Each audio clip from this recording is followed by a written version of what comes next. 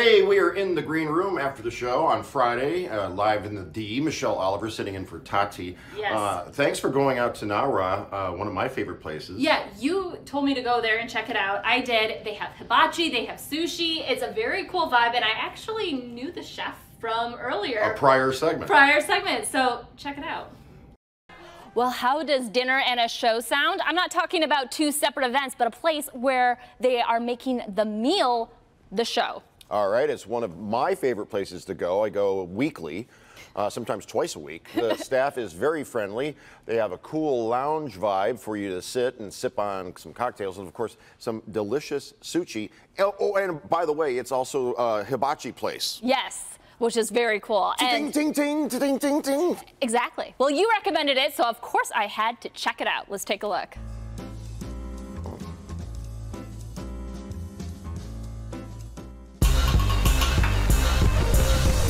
Sizzling shrimp and steak cooked right before your eyes with a side of showmanship. That's what you'll find at Nara Hibachi and Sushi Lounge in West Bloomfield. They're coming for a show. I love making people very happy. Just I see the smiles on their faces when they're eating. Chef Teddy Quinones has been honing his hibachi skills for quite a while. In fact, he taught me one of his tricks several years back. Like you squirt it like this way. Whoa! Hey, I didn't say I was good at it. My dad used to work at Benihana's, and then he got me into cooking around 35 years ago. I used to cook for uh, a couple of my friends, and we all decided that we wanted to get together and open up a hibachi restaurant. The restaurant has a modern, Japanese inspired design. We wanted Nara to be like a real fun place to come to. We have a DJ in our lounge, you know, where people can come, have fun, dance, drink, have appetizers. Of course, they dish up hibachi, but they also serve sushi and a variety of shareables. I really focus on, on the quality of our food. We make all the sauces in-house. All our dishes have a Japanese flair to them. Well, all of this food smells amazing, so let's get into the menu and we're going to start off with one of their appetizers. These are their Japanese pancakes and they're filled with seafood. You have shrimp in there, calamari, crab. There's also onions, peppers, carrots, and it's finished with a garlic aioli. Next, we have a Mexican and Asian fusion with their tuna tacos. So this has bluefin tuna. You also have guacamole, pico de gallo, their special yum yum sauce, all in a fried wonton. Another great option for an appetizer is their popcorn rock shrimp. So the shrimp is first dredged in flour with a lot of seasonings. It's then deep fried and tossed in their special teddy sauce. Another great plate to share is their Wagyu beef sliders. So these are topped with teriyaki onions. You also have cheddar cheese on there, their special yum yum sauce, all in a brioche bun, and they come with a side of fries. Another great way to start off your meal is with this hamachi yellowtail. So the yellowtail is sashimi grade. It's wrapped around daikon sprouts and served with jalapenos and a ponzu sauce. Speaking of sushi, you can also get it as your main entree. And one of these cool sushi boats is a great way for everyone to kind of have a bite. So on here, we have several different types of rolls, including their Nara 101 roll, which has white tuna on it and it's lightly baked. They also have their red dragon roll, which has tempura shrimp and topped with spicy tuna. You also have a classic rainbow roll here, as well as a row of nigiri. And finally, what they're most famous for, their hibachi. Now you can get a combo of any kind of protein you want. We're showing this one with steak, shrimp, and lobster. It's served with a side of their teriyaki noodles as well as their teriyaki and garlic butter vegetables. Uh, so, what did you bring us today? So I brought you some of your favorites. You asked me what uh, I asked you what you wanted, and you said you love the miso soup here. So obviously you have the miso soup. Miso is incredible. I, I, I- remember, I'm in here twice a week Yes, because my daughter has karate, so I kill that hour at Nara. Nice. I like how you keep it all in the same theme, kind of. what is this? Uh, so this is your hibachi plate. Now you said you really liked the fried rice. I personally, the chicken fried rice. I personally love their noodles here. They have shrimp. They have steak. I'll just take a, a little bite of the steak here again, um, and then the grilled veggies. Good. All of this covered in that lovely garlic butter. Up here in the front, we have their tuna tacos.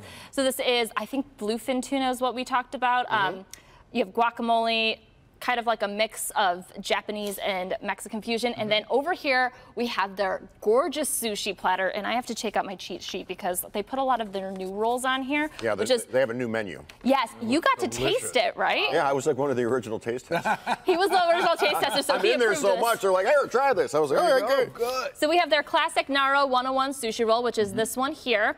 Um, this one's lightly baked. They have this one, which is their Las Vegas roll. This one's smoked. And then their two new ones are their Wayne roll with Escolar. I believe it's this one here with a little Mm-hmm. bit of the crispy uh, garlic chips on top, which uh, sounds amazing. And then this is the Dragon King, which has shrimp tempura, crab, tuna, avocado, tempura crunch as well. Mm. So um, I'm gonna take this. So what made you recommend Nara to me? Do you know? Everything. I'm like the, the staff is super friendly. I mean, I've gotten to know them because you don't go somewhere for an hour twice a week without getting to know the you know the wait staff, the bartenders, and and just uh, the managers. It's just a really great place. I really I'm really fond of it. So who's your person there? I feel like you I've have a guy I, there. ca- oh, I can't. I can't. If I said one person, I, I would be in trouble. Okay, okay, okay. I won't. I won't pressure you then. Because then everybody else would be like, you, you, you like that person You best? Uh, so do you know why the name is Nara? As, feel free to dive in. Okay, thank By the way, we brought Greg in so he could eat as well and tell us what he thinks. What I did you think of the steak? I loved it. I love steak. It was delicious. I plan on testing everything here. yes, please continue. Um, so do you know why the name is Nara? I do not. So it's apparently a city in Japan, and Oh. it's really known for its culinary history. And one of the cool things about it, I've actually heard this before. There's deer there that are trained to like say hi to people, and like you come up and pet them. And because we have so many deer in Michigan, it just made sense. All right, we're going to go. the wrap. Uh, if you would like to try Nara Hibachi and Sushi Lounge, they are located Hmm. in West Bloomfield at the corner of Maple and Orchard Lake Road. Yes, and if you want more restaurant recommendations and behind the scenes chats with fellow foodies, sign up for the Dine in the D newsletter. Just look for the newsletters tab on the top of clickondetroit.com. So, uh, Michelle, have you ever been to Solo Records? No, and it's surprising because it's in my neck of the woods. So Yeah, you- you live, like, like, down the street from there. I know, so I should like walk over sometime. What what do they do there? Everything. Everything. A little bit of this and a lot of that. So, uh, look at this. Albums, 45, CDs, cassettes, DVDs, VHS tapes, 8 tracks. If it's old school retro media, you are going to find it at a gem of a shop on Woodward and Royal Oak. And as you're about to see from my recent visit to my favorite record store, you never know what you'll find or see. WABX, Real Rock Radio, vintage t shirt hanging on the wall here at Solo Records in Royal Oak, a place where you can come and get anything from DVDs to CDs to records to 45s and so much more. There's more here than you could look at in probably a week of being in the store. There's even VHS tapes, believe it or not. Please, Hammer, don't hurt them. We even have vintage audio equipment and eight tracks. Does anybody come in here and buy eight? Oh, dumb dumb Suckers. Lorna, you're the owner. How many years in business? 41. Does anybody come in here and buy eight tracks? Absolutely, and that's just the small, uh, better ones. There's boxes over there where they're 50 cents a piece, and people buy them up every day. Tom Jones, one of my favorites. There he is, right there. What's going on, Amanda? Hi, see you. Good to see you. Georgie, good to see you. What's up? Look at this. Rummaging through the albums, looking for vintage finds. What's your name? Eric, Eric, uh, why do you come here? because it's a unique place. I always find something different when I come out here and try to take advantage of when I'm in the area to come out here. Little bit of everything. Archie Bell and the Drells, Kool and the Gang. Try not to give you guys motion sickness. Rarities, cassettes, Supertramp, awesome. Albums, George Benson, love it. Dave Brubeck, all about that. Uh, vintage art on the walls, posters, a little bit of everything here at Solo Records. You should stop by soon. And joining us from Solo Records is the manager, Heath Craig. Hey, what's going on? Oh, having a great morning. Uh, I think we covered it pretty well, but uh, how would you describe uh, some of the odder things that you could find at the store? I mean, you've brought out some rarities here with you today. Oh yeah, oh yeah. A little bit of everything, truly. Uh, And in a new space. absolutely. We just moved two months ago. Same parking lot, just two storefronts down. Everything's fresh. Everything's nice and clean and new. Uh, Well with, lit. uh, yes. And always music going in the store. Um, let's take a look at what you have on the table here. I think Mike's got a shot of uh, Eraserhead right now. Um, that's the, what, soundtrack to it? Yes, very hard to find 82 press of the Eraserhead soundtrack. All right, and there we see a VHS of the Beatles' Help. I know that Greg Russell's going to be looking at that. Yes, uh, certain music VHS tapes are back. Uh, music cassettes are back. Uh, people love rap. and- Miles, Miles Davis is, now is that yes, already? yes. This is a very clean original copy. How much would something like that, that sell for? Um, this all over the place, but uh, we're asking 400 for Woo. it. Yes, and that's uh, when you look at what it goes for online. That's a pretty good deal.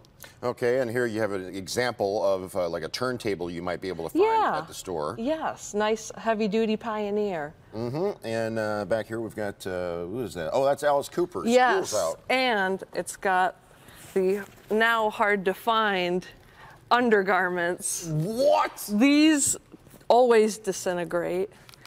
But original in the box. Original, yes. How much does that go for? This is 99. Okay, all right, that seems fair. Uh, then some other uh, paraphernalia over here. Yeah, got some we've got- cassettes and an eight-track. Old Cream magazine, a reel to reel.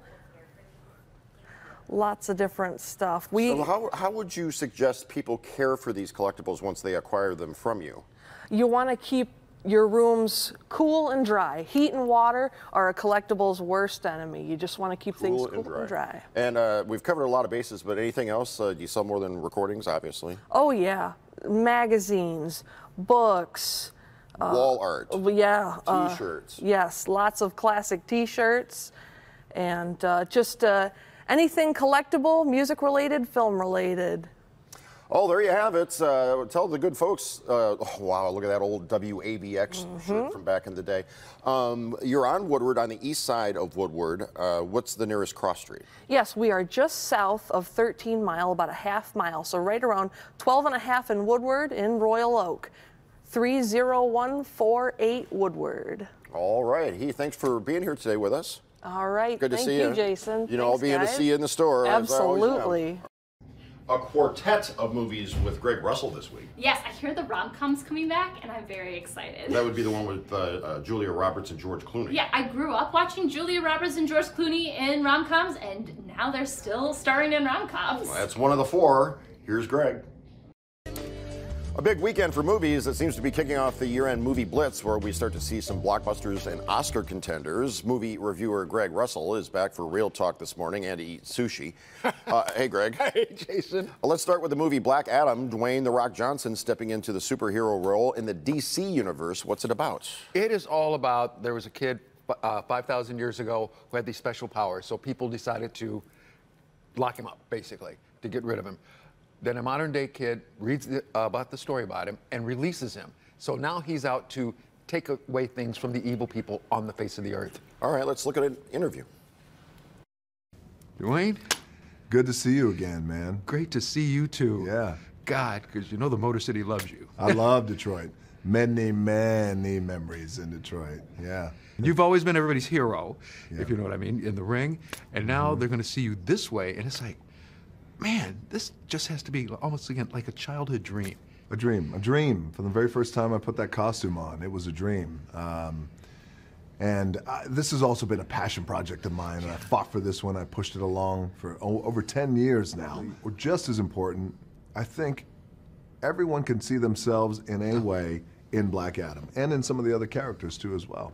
But when I saw my first comic, a Black Adam, Yeah.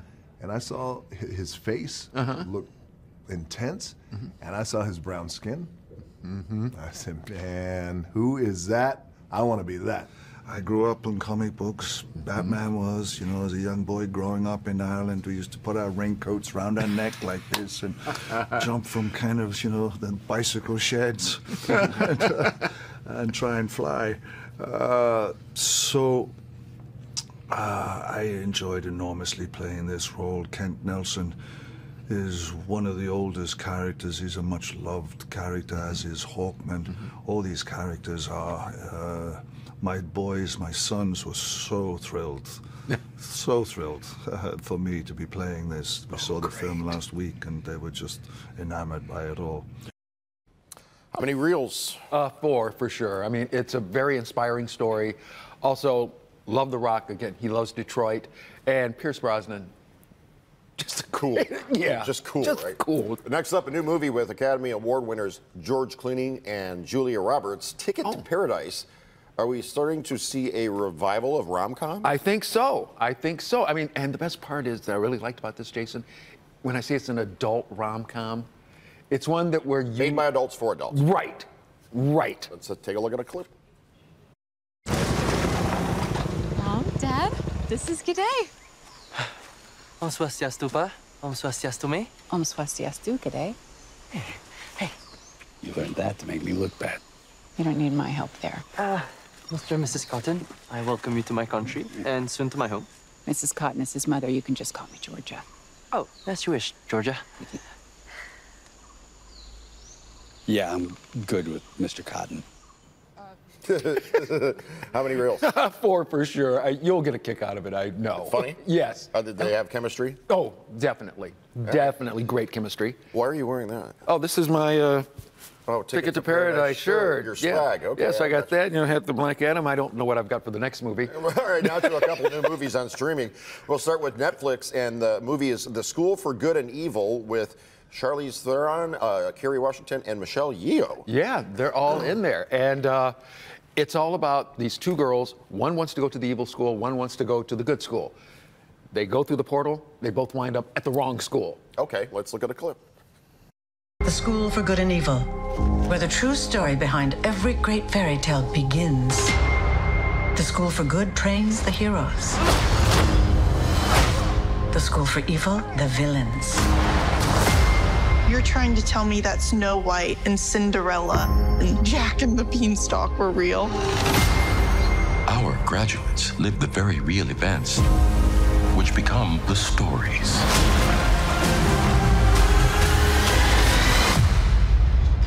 That change the world. Looks kind of wild. How many reels? Uh, this one's definitely for teenagers, so a nice three and a half for them. Okay. And finally, we have a new dramedy out on Apple TV Plus with Ewan McGregor and Ethan Hawke. It's called Raymond and Ray. What's going on here? Love this one. It's about these two guys, their father dies. And they had not talked to the guy for years, but all of a sudden, when he passed away, he had in his will they had to bury him. So the two brothers get together to go to the small town and take care of dad's arrangements, and just all types of weird stuff happens. This reminds me of Larry, Daryl, and Daryl. Yes! All right. Uh, how many reels for it? Uh, this one a four because I mean very well acted, and also you're just and McGregor and Ethan Hawke. Just love those two guys. Okay, we skipped ahead on a prompter. Let's go ahead and look at a clip. Hi. How did you know our father? We were lovers for a while. What was he like as a father? The worst. Like a weight on my chest. Forgiveness is good. Hi, guys. This is my son, Simon, Raymond, and Ray. Your brothers. Raymond and Ray. Hello. Again, uh, uh, four reels. Four reels. I mean, it's like you said, it's got humor, but also it has heart and opens up about family situations. Where can people see more of your interviews and whatnot? Go to movieshowplus.com. Check us out there. Don't forget to sign up for our newsletter, which automatically puts you in line to get some swag, like maybe a shirt like this. Movieshowplus.com. You got it. All right. A shirt like this or like this one. There you go. Alex Thomas, a very funny guy. He's going to be uh, at Bert's Comedy Warehouse Friday night show, two on Saturday, one on Sunday. Yes, he had us cracking up in studio and maybe had we had a couple of firsts for live in the D. Yeah. uh, wait till you hear his story of how he ended up writing for The Fresh Prince of Bel Air. In his career, he has worked on shows like The Fresh Prince of Bel Air, The Jamie Foxx Show, and In Living Color. He's also opened for comedians like Damon Wayans and Mark Curry, and rap stars Dr. Dre, Snoop Dogg, Ice Cube, and Eminem. Wow. Now Alex Thomas is bringing his brand of funny, the Funny Don't Stop tour to Detroit, and you can see him at Bert's Comedy Warehouse in Detroit. He joins us now live in studio. That's him right there. That's right, Detroit. What up, though? What up, though? what up, though? Hey, I like I like you said. Okay. I hear you. I'm down. You down? You down? You invite you invited to the barbecue. Let's go. I'll bring a container. yes, there you go. Or foil, or foil. Yeah. Bring some foil. Let's go back to when you first started in comedy because one of the first things you did was work on The Fresh Prince of Bel Air. How did that happen? Well, the question I get all the time is, "Oh my God, that was one of my favorite shows of all time. Did you take writing class? Did you go to writing school? Absolutely not. I was just a brother in the right place at the right time. At the right time. I remember the day like it was yesterday, July 2nd, 1992. I was a broke stand-up comic. Had $11 in my pocket. Caught the bus to the Laugh Factory in Hollywood. Sat in a 13-hour line just to do three uh, three minutes on amateur night. Got off stage. Will Smith was sitting in the front row of the comedy club. And this was way before he was slapping people, right? So thank God he did not slap me, right? So first thing he says to me is, "Oh my God, you're real funny. My name is." I was like, "Bro, I know who you are." he goes, "Man, I got this brand new TV show." I'm like, "Fresh Prince of Bel Air." I, I watch it every week. It had only been on two years at that time. He goes, "Let me ask you a question." He goes, "Do you write?" I was like, "You got a pen?" He's like, well, do you think we can come down and help us with some funny stuff like what I saw on stage tonight? I was like, hold on, let me check my schedule. Yes, I'm available. He goes, when do you think you can come down? I'm like, now. Can I get a ride with you? And the rest was history. I was there the next day, four years, 80 something episodes, Fresh Prince of Bel Air. Well, what kind of things do you talk about when you're on stage uh, doing your act? I talk about everything and anything under the sun. I'm not a political dude. I, I talk about stuff that um, just comes to mind. Like, for example, the potholes in Detroit. you ever hit a pothole in Detroit? Of course. I rented has. a car last summer, was driving around. I hit a pothole so deep, it felt like I flew off a bridge. It cracked my rim, busted my tire, and I farted at the same time. I mean, I was ready to write a, a letter to the governor. Like, this is. This is not good. Yeah, she ran on fix the damn roads. Right, right, right, you- exactly. You, are a 15 handicapper in, in golf, which I'm jealous of. The, the best I ever got was 18. Right. Uh, your nickname is Inglewoods. You even have a golf show where you play rounds with sports legends, and you're cracking jokes on the course with, with these icons. Yes. Uh, what's this all about? Well, first of all, I am the ghetto Tiger Woods. They call me Inglewoods. Yes. Because I'm from South Central LA. But I've been playing golf 25 years now, and it has become the other love of my life outside of my comedy. family and my wife and comedy.